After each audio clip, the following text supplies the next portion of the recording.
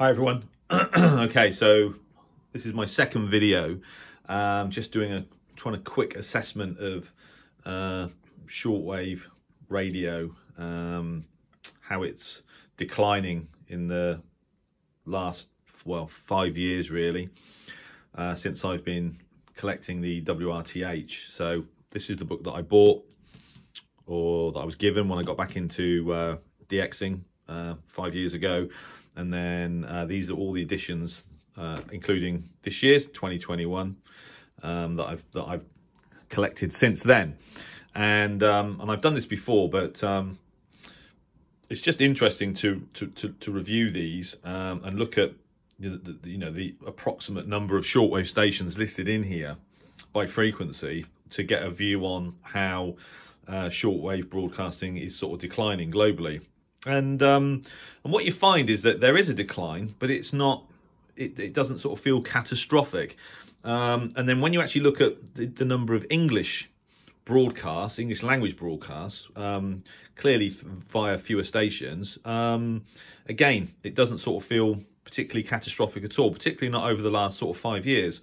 So, um, by comparison, so basically, in 2016, and they use the, the reason you can compare these is because this particular format uh, and typeset has been used by the WRTH since at least I've, the oldest I've got in this format is 2002 and I'll come on to that um, so you can make a comparison. So basically in 2016 there were 23 pages of shortwave stations across the world listed by frequency so starting on 120 meters. So 23 2017 was still 23 and then in 2018 it dropped to 21 pages. In 2019 it stayed at 21 Last year, it dropped to 19, and then this year it's dropped to 18. So in five years, um, it, it's dropped from 23 pages to 18. So we've lost five pages basically. So, you know, give or take that, what does that equate to? About 20, about 25%, which is still a big reduction.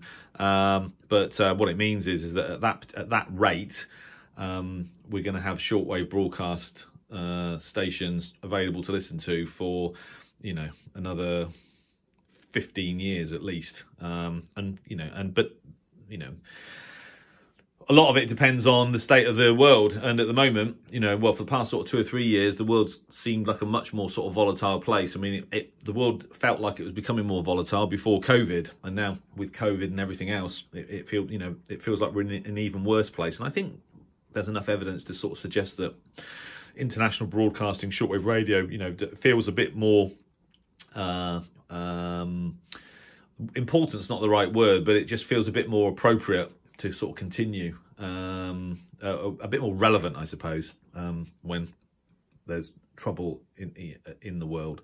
Um, and a good example of that is, you know, all the issues with North Korea. I, I, don't want to get political, but um, uh, you know, for example, the BBC started broadcasting um, more, well more programming into North Korea, um, and I'm sure you know Australia started um, uh, or New Zealand, uh, you know, is is is has now operating uh, into the Pacific to kind of cover for the Radio Australia dropping out. You know, so you know, I think at the end of the day, um, shortwave will be around for quite a long time yet. Um, but uh, in actual real terms, the in terms uh, listing stations by frequency we've gone from 23 pages of stations i'm not i wasn't going to count them all in, in 2016 to 18 in 2021 but if you actually then compare the number of pages because they also list the um, broadcast by language. And um, so for example in 2016 there were six and a half pages of uh, listed of shortwave broadcasts in english so six and a half. In 2017, it actually went up to seven. And then in 2018, uh, it went down to um, six and three quarters. In 2019, it was it was also six and three quarters, and then last year six and a half, and then this year six. So it was six and a half pages in 2016 and six now. So I think overall, what you can say is that in the last five years, the the total kind of volume of shortwave transmissions in the English language hasn't really changed at all uh, in five years, and, um, and maybe that is a kind of more accurate measure uh, of the relevance of shortwave radio in the 21st century. Sure, the number of stations is diminished because a lot of these stations, for example, in South America, were regional stations. Um, you know, uh, Radio Club de Para as a good example. And you know, a lot of the South American, well, nearly all of the South American regional stations seem to have disappeared, um, and that and that obviously has a is a big contribution to the total number of stations broadcasting. But in ter- as I said, in terms of English transmissions, it's not really changed very much in five years. So that in mind, what happens if you then compare it to the oldest copy of the WRTH that I own that uses the same format typeset? And that's this one, 2002. Um, the, they use a different type of paper, but the, the, the format and the typeset is exactly the same. So in 2002, so basically 19 years ago, there were 35 pages of shortwave stations listed by frequency. Uh, and today there are 18.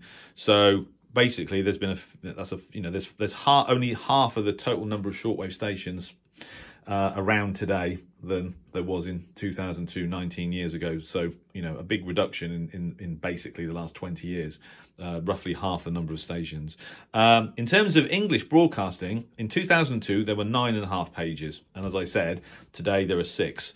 So there's been a reduction in english broadcasting but the rate but that the rate of, of drop in English in broadcasting in English or the, the volume of English broadcast is much lower than the total number of stations that have gone uh, from the bands. So even that is, you know, it, you know, it feels a bit more positive.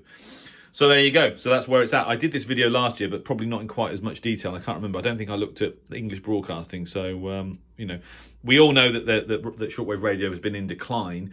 Um, and it is, and I'm sure it will continue. But in terms of its relevance today, the fact that in the last five years, you know, there's still basically the same number of broadcasts in our language, and you know, I'm sure that you could do the same evaluation for, you know, French and German and Chinese, etc., etc.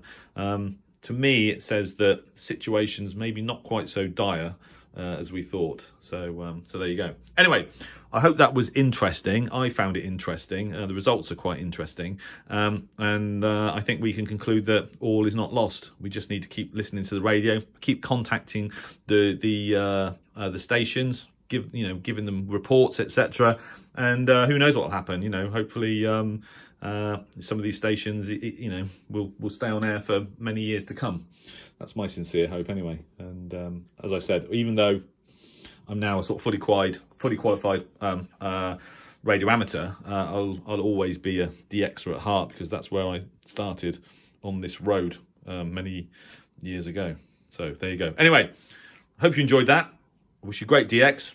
Happy New Year, and thanks for watching. And I'll talk to you soon. Seven three.